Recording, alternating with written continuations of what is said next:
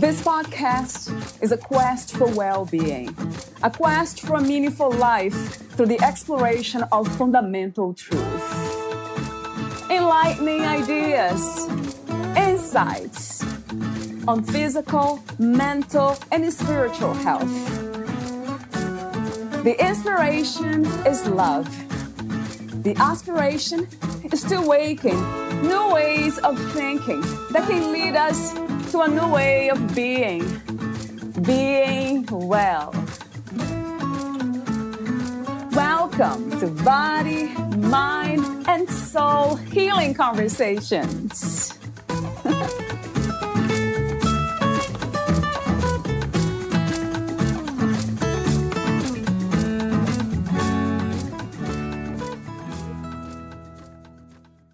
What if I told you you have always been and will always be everything you have ever been searching for?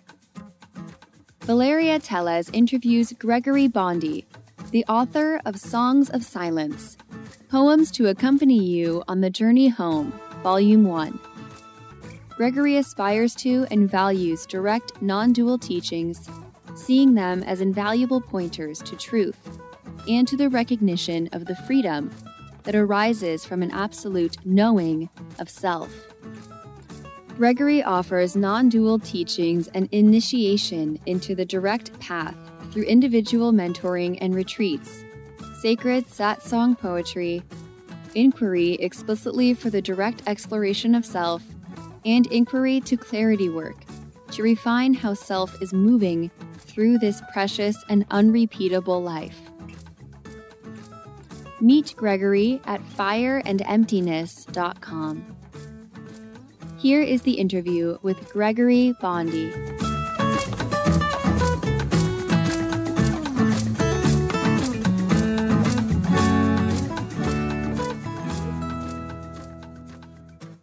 In your own words, who is Gregory Bondi?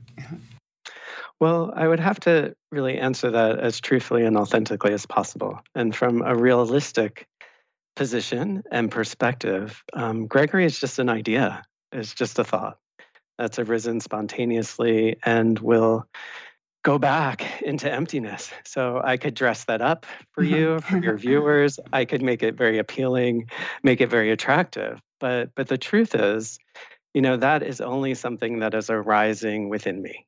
And what is me is something that's permanent and uh, everlasting. What are thoughts, really? Oh, gosh, that's such a, a great question. I don't think anyone's asked that to me before. I think we take for granted so many things um, without really plunging into the depths of understanding them. Um, I would have to say, from my direct experience of thought, you know, thoughts arise from very distinct centers in the body that have to do with gripping and some type of survival. Um, and they're condition centers from um, millions and billions of years of conditioning to survive. And I, you know, I recognize that the thoughts well up from these places, and most of the thoughts, ooh, I would say, gosh, 90 to maybe 99% of them are non-functional thoughts. You know, they stem from stress and anxiety about survival. And then there's functional thoughts that I think are really appropriate and functionally appropriate for, for daily life, which is, um, you know, I need to get food. um, I need to eat. I need to take care of my body. But if we truly investigate what's going on in, in our minds, it, it really is a, a deep anxiety about some type of power and survival, mm. you know, of an individual I. So does that answer your question? I'm not, you know, I'm not entirely sure. Mm. I, I think I can just tell you where I see thoughts coming from. And they bubble up all of their own and spontaneously and then arise within the space. And then uh, also what comes to mind is intuition. Is that another form of thought or somehow different? I think, you know, I don't think about intuition so much. Mm-hmm. Um, I, I realize that in this capacity of consciousness, right, which I think arises within awareness. Consciousness has so many capabilities, endless capabilities of mm-hmm. development, mm. and and intuition seems to be one of them. Um, intuition seems to connect to sort of the the causes and conditions that are already in motion and then we can connect to where those causes and conditions might end up. But but again, it's not something I really think about too much. Do you think it's possible to be here and now without thoughts? I think it is possible to be here now without any thought. Um, I I also think that when the centers are burned through completely, you know, when the survival and the grasping that's attached to identification really finally lets up, then the silent mind takes hold all of its own. You know, but but you know, the, this is an amazing, amazing life and amazing bodies that evolved, yeah. right? Yeah. And we think that we have to be having thought to make everything work, but it's simply not true. you know, we, we've learned how to operate already. If we can just get out of the way, life would just flow so naturally already, you know? Yeah, that brings me to the topic of surrender. Mm, one yeah. of my favorites. oh, God, tell me about it. How do we learn? Is that something that we learn to do, to surrender, or it's a shift in consciousness? at some point and then naturally happens well again sort of being precise with language you know if we if i really am clear that there is no i here right, right? right. who is there to surrender mm-hmm. you know who who could be surrendering what i can say is that i think in this again this magic and awe of, this body you know that that there seems to be forces or drives that are working that work on this, you know, work on our consciousness. Do I understand them? I, I don't think I can because they arise spontaneously, but there isn't there is something about surrender. Right. And for me, I think it is burning down, you know, burning down what we thought was, what is not true. But ultimately, you know, what is here is this ground of being that's already here. You know, we're just stripping away the veils. So for me, that is the surrender, right? It's the surrender to views that have occluded the truth of what is here, you know, and this constant, constant being willing to let go. Because what is here is here. The only thing that's standing in the way is all of our preconceived thoughts mm, and ideas yeah. and perspectives and beliefs. More importantly, beliefs. You know, yeah. beliefs have a great way of clouding, you know, what's really true. So, in a way, it's really unlearning yeah, I think being aware of where our tendencies are of the grasping mm-hmm. and the thoughts and the yeah. following of thoughts. Yeah. And simply by pulling back from that, by dropping back into quiet, you know, the natural, luminescent, true nature is already there and just rises up. Just letting go, constantly letting go, I would say. Yeah. I remember this uh, from a Japanese, I think it was from Zen Buddhism, that they say done and forgotten. Mm. All the time, moment by moment, mm-hmm. forgotten. To me, I often think of, um, I think there's a Japanese style of painting where it's almost just water on a type of paper. So the ink appears but then disappears. and I think about that all the time, right? It's like arising and then subsiding, arising and subsiding. You know, nothing's held on to, everything arises and then subsides by itself. What do you think the purpose is to be here? do we have a purpose? Yeah, I mean, I, think these are fundamental questions, right? right. And and I, this is where I always love to know what what someone else's question, you mm-hmm. know, really means. Yeah. Like, what what is it when someone's looking for purpose? This is where I would really ask, what what is it to find that? How does that center you? I mean, from my experience with working with people and exploring these topics, I would always say what I come to and find in purpose not always right and this is uh, i'm limiting it to uh, you know some direct experience so i don't want to limit it as a whole of what that means but but purpose has a connection to something divine usually that there's a divine intelligence moving throughout the universe and somehow if i can line myself up with that i too can unify with this divine intelligence for me i've never found that mm-hmm. I've never mm-hmm. found a divine intelligence, right? And and that was from seeking very hard. You know, for me, that's not what's here. I can't really put it into words, like you said before we were talking, before we started the recording. You know, putting things into words is really difficult because it's beyond mind. But I've never found purpose there. You know, I think purpose is one way that we grasp. It's one way that we grasp um, from a separate self at not wanting to feel separate. And we also grasp as trying to find an orientation in life through purpose and meaning. Right? So the real surrender for me is letting go of all those concepts. What is it like to live without a center? You know, for the ego, that's frightening. But the true freedom is that, right? None of these things are important. Life is life, life is flowing. How did this come to be? To be aware that we are in a body and and be aware that there's separation even because there isn't well, gosh, I mean, these are huge questions um, to to put uh, for me to answer. um, I will do my hmm. best, but um, far from doing it justice. Uh, you know, I think, and then consciousness arose because of a body that is fed by food. You know, it's a very unique set of circumstances. You know, and consciousness, I, I, you know, in again in a limited use of words, feels like a step down of of awareness, absolute awareness you know? And because of this gift of consciousness that has the capacity to be aware you know that's where self-awareness comes from. You know it's this movement of consciousness you know in this body. But without the body the, the consciousness goes back to universal consciousness. Right. You know? there is no individual consciousness. It, it will diminish with the body. You know so this real gift is the body mm, you know, mm, yeah. the potential of the body and consciousness moving and would you say that this is just um, it's just an experience, consciousness being in the body, and that's basically it? Doing whatever it is doing. yeah, I would say it's the grand play, right? Mm-hmm. It arises and subsides within what I am, you know, which is awareness, right? So it's just always arising and subsiding. Nothing more than that. I don't attach any other meaning to it than that.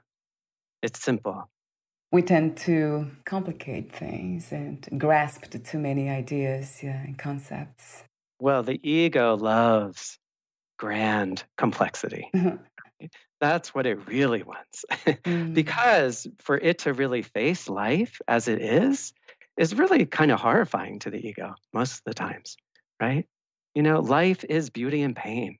The ego really doesn't want to hear that. You know, the ego really just wants beauty, lack of pain, no suffering, right? You know, so to really face life of what it really is, you know, which is this push pull, which is light and dark, which is contraction and expansion.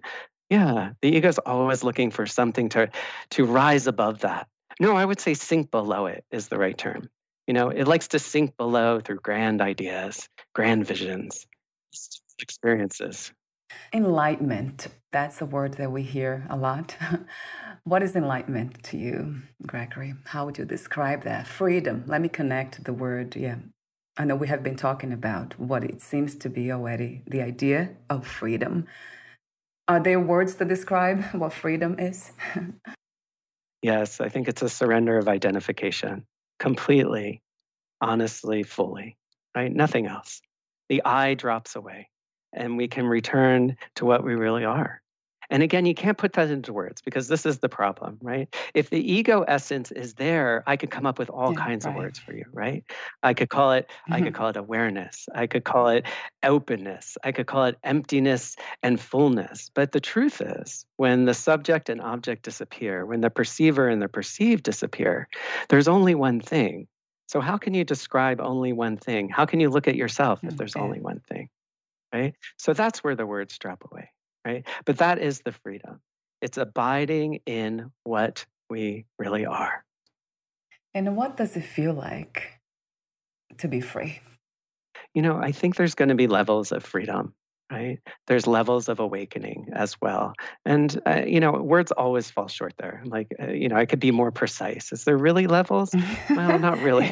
I mean, wait, awakening is truly a, a, waking up from the I. Is there a difference between intermittent mm-hmm. sort of awareness of that and an abiding? Yes. So I think getting down to what it feels like, I would say from the purest, purest absolute, you know, there is no feeling. That all drops away. Thoughts, feelings, um, experiences really drop away. So what what is present is a luminous stability the question is Is there any uh, movement in there where you are just going in and out of that kind of awareness, of free awareness? Because as you mentioned before, we need um, some level of thoughts. We need functional, you call it thoughts, to function uh, day to day, moment by moment with the body. Is that possible? That freedom, that or that scent to be there all the time. Yeah, the body can take care of itself, right, Valeria? Yeah, I don't need to be tending to it. It's quite magical that way right again we're so we're so conditioned to believe yeah. that we have to be thinking to make it all work but the truth is we don't have control anyway you know i, I mean that's the illusion so yes i think it, it is possible right that that is total freedom always there always there and it can't really be forgotten i guess that's what I, want maybe this is where there's there's stages and processes that happen with awakening. But once you know that you are not the I, that can't be forgotten, right? That's all that's really important is the knowing. It's not a learning of the mind, right? That's knowledge, right? right? We can all talk from the mind. We can all know things from the mind, but that's not experience and that's not realization. But once you know something, right, that's beyond words, that didn't come from the mind, it can't be unknown. It shines out in every single moment. Sure, you might be captivated by thoughts here and there, right? Oh, but yeah. the actual knowing that you are not those thoughts can never be covered over again, right? So there's really no problem if the thoughts come in, even if you follow the thoughts, because the knowing that you are not those thoughts or beliefs is so permanent and stable, can never go back. That's it, knowing. Yeah, like knowing, right? Direct experience, yeah. knowing. That's different, right? Yeah yeah. And and that is, I would say, a real good indication, right, when talking with other people, because we can all be allured by what someone knows of the mind, but but the direct experience has a different quality. It's the only thing that can really take us home, right? Your direct experience is what is going to help people. That's where it all starts. Yeah. When did you uh, discover this or when uncovered the truth? Can you talk to me for a moment about the um, the experiences that led you to that deeper understanding? Yes, I think, and you were mentioning this too, I think, before we started the interview about seeking, right? Yeah, yeah. You know, I, I would say I'm grateful that somehow sincerity was present from an early age. I was sincere in whatever that moment was, and it's taken many different forms. But that sincerity led me to a direct experience of emptiness. And that wasn't realization. So I want to be clear on that. It was the ego, the I. I would say the I. Let's ego is just a movement. You know, the I experiencing emptiness. So it had an object and subject relationship. But the realization or the seeing, I would say, let's leave realization out of it. The seeing of emptiness that truly there is emptiness at the at the core of all form was devastating to my ego. And so for years, I was just in a collapse after that and spiral of meaninglessness. How do I move if everything's empty? What do I do? You know, drives and passions just dropping away. And that was years. But I would say that was the crucial moment that was then sort of the process that we were talking about surrendering, of just letting go, of being worn down and I think, if anything, that's what the spiritual hmm. journey is. We're just wearing our drives and our ego down to finally it can just let go. And when it finally lets go, then again, the nature, the true nature that is here just just unveils itself. And so, yeah, that was the biggest that was the biggest part of the journey was the the experience of emptiness. I hear a lot about the soul's journey that we have chosen to be here and to go through certain experiences. Is that another idea of the ego? I would say for me, I, I don't know if I want to frame it and box it in, other than saying that isn't my experience, Larry. I, there is not a soul to me. You know, that that's one of the things that are sort of the long lineage of traditions and spirituality until you get to a certain point when you realize that collapses. Um, what I would say from the question, though, where I think it was stemming from, right? Because you want to help people, right? Like that's just a movement of love to me, but it has to be a pure movement of love. And so we often have to do our work of investigating and inquir- inquiring into what our motivations are. Mm. Because oftentimes the real motivation for helping is self-motivated. If if I can make a better world, if I can help this person, I'll be more secure. Uh, you know, so I would really have to investigate that. I encourage us all to investigate when we really want to help someone. Yeah, yeah. Um, but there are pure movements of love from non duality that will naturally have compassion and want to help. It's just we have to make sure they're coming from the cleanest place. So, as for again, soul, purpose, we're here, we chose. No, I can't say that is anything that lives in the direct experience I've had. But but there is movement. Life is movement. Mm-hmm. And when all of our drives finally are diminished and stripped away, life still moves. That's the magic of it. But at that point, it becomes just a pure expression of love. And if it's anything other than that, then I would say go back to the go back to the work.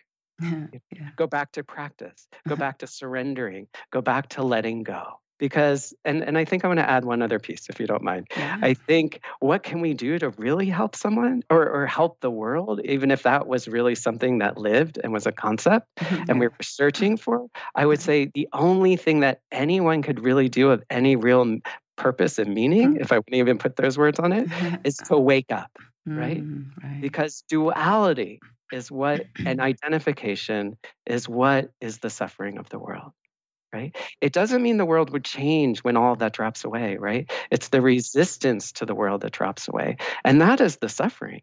The suffering is resistance to what is. And so by you liberating yourself, by awakening, then it just spills out it gives someone else the opportunity to live in non resistance. And isn't that wonderful? it is. Do you have a, um, a definition for love? No, I don't. Mm. I recognize that many things arise in, in awareness, in consciousness. And and it seems like love is a natural arising. You know, how could it not be if everything is one? Right. You know, if everything is one, mm, wouldn't that just be natural? Right. Of love to spill out for its own self? Right. You know? Yeah, right. I meant that's what I see it. I feel it's natural. Talk to me for a moment about the uh, inspiration and also the intention of writing your book, Songs of Silence Poems to Accompany You on the Journey Home, Volume 1. Well, to be honest, I am a horrible writer. and it mm-hmm. was out of the recognition that that there was this bubbling up of wanting to share my experience and also a recognition of this conditioning of mine that is not such a great writer and, and is more creative and has more um, lean towards the arts that one day it just clicked. And and i remembered that that poetry was so natural to me and that a way for me to to give what these experiences and share it would be so appropriate if it was just more natural to me and that was through more of an artistic form. And then once that clicked it was it was like lightning. They just i would wake up in the middle of the night and the poems would be there and i would just write them down. I would be walking on the street and all of a sudden the next poem would be there and i would have to grab a piece, piece of paper write them. So yeah i mean and that's what i love about poetry right? They they transcend the mind in in its own way. They're not about knowledge in the traditional sense. They really tap into that deep sort of um, inspiration you know inspiration from from what is. Yeah. the first thing you um, before the biography starts that you sent to me you have this uh, something that you wrote. What if i told you you have always been and will always be everything you have ever been searching for. So this is a, I mean, that's um, that's everything. that's the truth. Yeah, we are searching for something that we cannot find out there. It's here. You have been saying this. If we can simplify, I know the truth is very simple. It's just really letting go, surrender to to what's happening now. And a lot of people ask the question what about if what's happening now requires my actions? It requires me to use the functioning mind. So, how can I stay here now and at the same time attend to life with this, what do you call the silence, this perfume of the infinite? Well, that was beautifully put, I want to say. Well, I think we have all kinds of questions when we're looking out and in on something right? And the question, so that that usually speaks to the realization hasn't hit home yet. When the realization is there, those questions just don't aren't mm-hmm. appropriate any longer. so I would say, you know, I it all makes sense to be asking those questions. But but keep turning your attention to finding out who you are. Keep turning your attention to the direct experience. And then once that settles in, once that pops open, then those answers will be taken care of. no more questions, right? Oh, how would I do this podcast without questions? that would be an interesting one. well, that would be interesting. But you know, but that is the truth. We all struggle with that at some point in the journey of truth. What will I do? What will happen if, you know, if I'm coming from true nature. But but again, I just want to say, life moves. Life is always moving. It's just the added meaning and extra layers are stripped around, uh, stripped down, so it just becomes pure. Right? What you do is pure. What is about silence that leads us to inner peace and clarity? Yeah, I, I mean, I'm always careful with language, you know, and trying to be as precise as possible. Um, leading us to inner peace. I just want to be clear mm. that we mm. are peace. right? yeah, we are peace. So, if anything, silence is such mm. a profound teacher because it strips away all the noise and the noise of the mind. And once the, the noise of the mind, of the grasping subsides, then this natural permanent, stable, if we want to call it peace, you know, everyone will have different names, you know, is just there. So, but but I also, you know, and you mentioned this before about um, the the lawn being mowed, right? There's all yeah. kinds of different silence. Silence is all of it. It's just the mind chatter that obscures it. So once you're um, sort of have uh, that grounding in silence, you just you feel it resounding out from everywhere. So the lawnmower becomes the expression of silence. The noise of a truck could, mm-hmm. um, going down the highway, barreling down the highway, could send you mm-hmm. into bliss, truthfully, because it's a movement of silence. You just feel it rage through your body. So it's this mind chatter, you know, it's the grasping. Yeah. And even um, accepting surrender to the grasping it might be another level too. It might be an, right surrender to it too. Okay the mind is really interesting today. Um, it's going off. Oh i i see that. And then um, yeah letting go. There's there's all there's so many rungs to the ladder right? I feel when you're on a journey. On one rung of the ladder you might be saying one thing and then on the next rung you might demolish it. But that's just how it is. So on one rung yes What's really important is to catch any time that you're in conflict with life. Because again, that's the ego trying to escape what really is. So here we are, this mind that's chattering. Is that a problem? No, it's not a problem. It truly is not a problem. But then on another rung in the ladder, we might be talking about the quiet mind and abiding in, in true nature. And at that point, it is it has a different quality to it but truthfully we have to come to complete terms with life first and that is an acceptance of all of it, right? Like, oh boy, my mind's busy today. It's not a problem. it really isn't. yes. So your book is divided into four chapters. You have the uh, you flow with the the seasons, so you call them spring poems, and then summer, fall, winter. Why did you choose to divide your book in such a way? I also just want to say I'm going to answer that question, and then I realized that I have this poem right here about uh-huh. silence that I yeah. think would be really fun to read. If yes, that's please. Yes. Why did I divide it? Well, I mean, we all have these trajectories, right, on the relative level. And this relative level of experience for this body mind, you know, was heavily into mysticism. There, I, I've tracked the seasons for so long. I've tracked rituals and ceremonies. And so I think it's just a natural spilling out of aligning with nature still. It's still there. There's sort of the resonance of that. I still find joy in that. It, it still brings me joy. so, yeah, please, the poem um, Silence silent or silence you want to read i have i have selected some of them here but we oh, might not okay. have enough time so i would love to hear the one you have yeah. Well, I would also, yeah, love to read a few. Um, this one is this silent. I've experienced this silence of an early morning sunrise, of a vast desert plain in midday heat, of a redwood forest at dusk, of a temple in night prayer, and I've experienced this silence of a truck thundering down the highway before dawn, of dogs barking endlessly in the afternoon, of children playing after school, of loud music keeping me from sleep. I've discovered all is the same one thing silence, The real noise is the mind chatter. Once that subsides, every distinction of sound dissolves. There is no more looking for silence. There is only silence. I thought it was interesting what you wrote about the uh, intelligent by design. And I think I highlighted something here where you say, when I say there is nothing here, that has the potential to become a trap too, romantic sounding to an, an ego, purposeful, a grand notion to reality. I would love for you to read also the poem Being consciousness and bliss. Oh, here it is. Uh-huh. Being consciousness bliss. Okay. What brought us into this will surely take us back out. The sense of being I am arose as the rare gift of self consciousness suddenly came upon us. The truth of being who I am arises with the rare longing of consciousness to look for the self.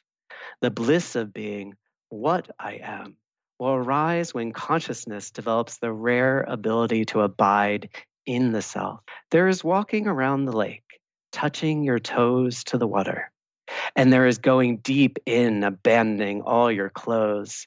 These are the doors. These are some of the keys. What you choose to do with them now is entirely up to you. Yeah. Wow. I love that.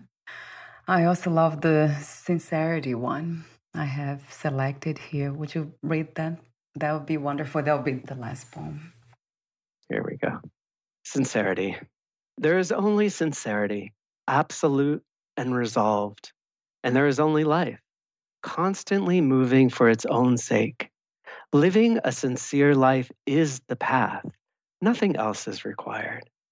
What our sincerity draws us to experience gives its value. It is this simple we live by our deepest motivations always, and we follow through according to our level of commitment to that movement. If we have absolute sincerity to uncover our true nature, no matter what, no matter the consequences, life will take care of itself in an entirely unique and surprising way that cannot and will not ever be repeated. Wow. Yeah, I love your work. Thank you, oh, Gregory. Oh, thank you. It's just that, yeah, everything's connected. There's no separation. So when we know that, then love arises. It has to. And compassion. Right? And compassion. So what is the difference really? I, you know, I'm sorry, I've never thought of the distinction. Yeah. What is the difference for you? If we have to use a word for that, the scent, for that movement, natural movement, it would be love. And if I go one step further, would be unconditional love, a love that's not conditioned, but it's I also think taking a moment to let that settle in because I haven't mm. had that question. Uh, compassion seems like something mental as well, right? It's a mental understanding of oneness, right? It's a or empathy. It's the ability to empathize with another, whereas love feels like a pure movement of energy mm. to me. Yeah, yeah, yeah, yeah, yeah. Th- this is it to me. What comes to me every time is that like when I see, it doesn't matter who it is, what it is. It's just beautiful in its own way. And there's this deep, not connection, but awareness of I am you, you and me. How beautiful. And it doesn't matter what form. it's just beautiful. Yeah. I also want to ask you because this is something that I think is really important distinction. Because in the dualistic world, love is attached to hate. Mm, right. And and right, so that's right. really important, you know, that love can be conditional. That type of love that is dualistic is conditional. It only comes if we get something or if we get this met, then we love. So the love we're talking about is a non-dualistic type of love that at some point I would love to find maybe a different word for. Oh, that would be great. yeah, because huh, because we yeah. because the other one is so connected to love and hate that that this is something different, right? Yeah. This is this is a movement of unification that is that is compassionate. And when you say compassionate, it might be this longing to experience that. when I see another human being not fully engaging this movement. I'm like, oh my God, what's happening here? and then there's this, yeah, you may call it compassion, this trying to to bring that clarity to them somehow so they can experience that too because it's so beautiful yeah and just remember though you know to be as clear as possible you're bringing it to yourself there's only mm. one thing right. so the yeah. moment the separation comes uh. in is where the is where the dualism comes in so you're only bringing it to yourself and then when I think about that, it then becomes a lot more playful and like, oh, this is interesting. And, and it's light. It's very light. Yeah. When that all, comes. that always happens when the ego starts strapping away. The, that is the, yeah. I think, another indication, right? Things become simple. Yeah. Things become naturally joyful, and we also take pleasure in the ordinary. Yes. The moment we start taking pleasure in the extraordinary, we know that's not that's not coming from truth yeah, there's lightness to it, playfulness, and yeah. Get to talk about truth. What more exciting? What an exciting hour to spend together. yes. Thank you so much, Gregory. Thank you. Thank you. Where can we find more information about you, your books, products, services, and future projects? Um, you can, anyone is welcome to go to my website. It's called fireandemptiness.com. And I think, um, Valeria, if you wouldn't mind, um, I have the perfect poem to end our talk. Yeah. Is that okay? Yes, absolutely. Okay, this one's called Come Home. It's time to come home. Too much time has already been spent searching outside yourself for worth and value. To be able to accept and trust who you naturally are, come home. Too much time already invested in the idea that someone else can make you feel complete, to fill the deep well of longing inside come home. You can no longer hide from the pain of separation, of believing you are this body, and it is time to come home. It's time indeed, yeah. Hmm. Thank you. Thank you again. Thank you. Mm-hmm. And um, yeah, so we'll talk soon for sure. We'll be in touch, Gregory. Mm, thank you, Valeria, for this opportunity. Many blessings to you. You. Bye.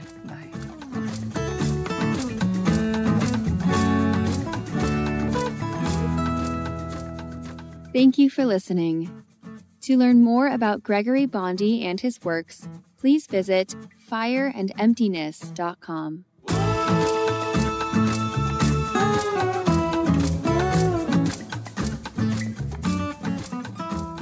To learn more about this podcast, please visit fitforjoy.org slash podcast. Thank you again for listening, and bye for now.